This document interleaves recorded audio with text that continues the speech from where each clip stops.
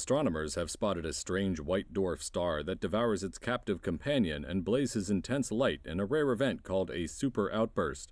NASA published the study in monthly notices of the Royal Astronomical Society. NASA says the retired Kepler telescope, which revolved around the Sun to search for exoplanets, had captured the archival footage that made this discovery possible. According to NASA's news release, the brown dwarf circles around the stellar vampire every 83 minutes at a distance of 400,000 kilometers. The white dwarf is about the size of the Earth, but its mass is equivalent to the Sun.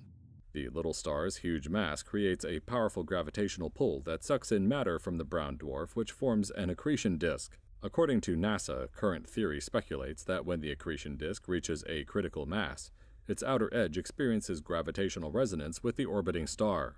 The resonance heats up the accretion disk, raising the temperature from a normal high of 5300 degrees Celsius to a peak of 11,700 degrees. The study says that the enormous heat buildup results in the blaze known as the super outburst in a repetitive process.